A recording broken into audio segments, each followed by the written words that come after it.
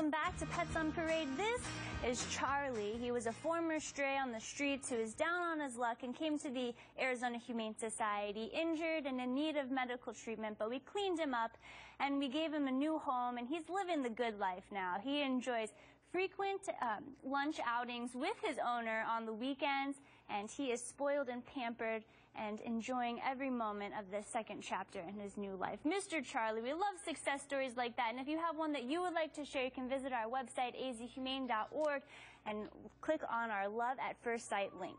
Now, Madam Meow is our first kitty on this part of the show, and she's welcoming you back. Denise, this mature kitty has strong views on proper living quarters in her new home. Yes, she would like very high cat perches and lots of tuna treats. And she loves her tuna treats, and she knows which treats are the tuna treats.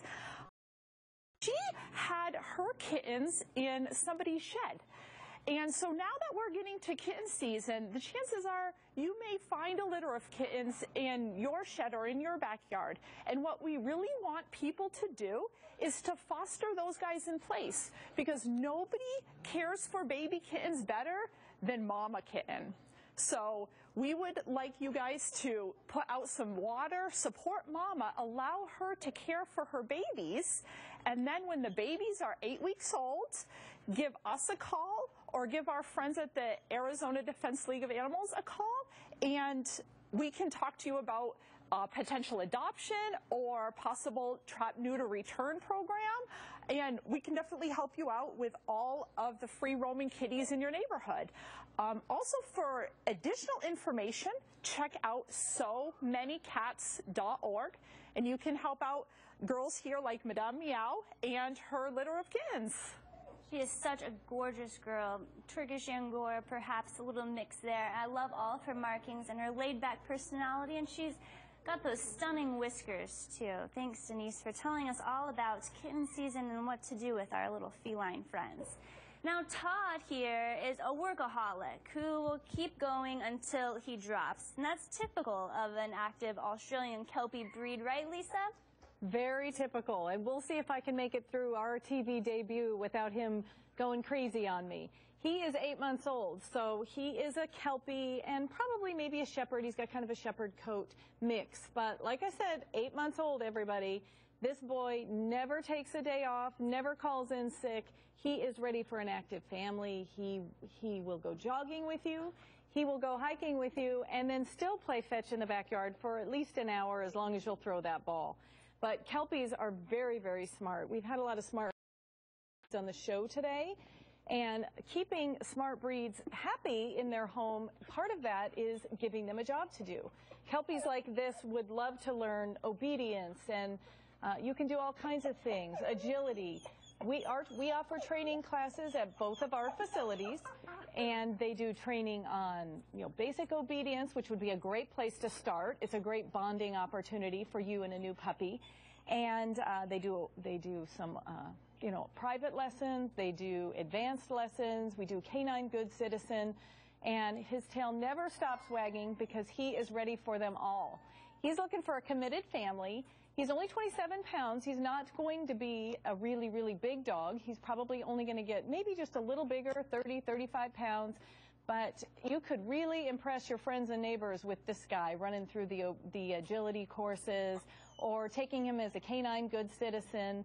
But friendly, happy, and the tail never stops wagging. He is just looking for a family to please. But just make sure you are going to be ready to keep up with this energetic young boy perpetual motion machine, that's for sure. My friend had an Australian Kelpie that would fetch the newspaper, um, go with him every day to fetch the mail, and I think that uh, Todd here agrees with that. He would like a job like that to do. So looking for employment, Mr. Todd. Thanks, Lisa. now, Hope was a former stray seen trotting along the road, and seconds later, he was tumbling underneath a car. Somehow, Perry, this little dog, managed to walk away from the incident with his life.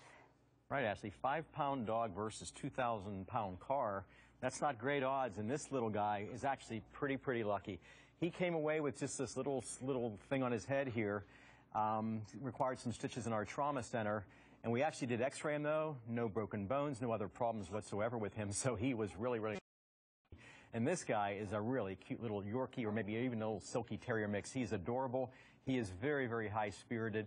He's a little buzzsaw. He likes to run around. He's been very, very happy here. There's no ill effects of being hit by that car. We don't get many of these little terrier guys like in the shelter, so he's going he's to have a, a demand for him, I believe. He's very well behaved. He likes to play. He likes the other animals there. And now he's going to show off for you and just be like absolutely adorable. Look at him. How can you resist some little guy like this? He's being perfect. So um, our trauma center where we treated him, you know, it's, it was a kind of a minor thing, just the stitches in the head, but sometimes something as serious as heart problems, heart disease.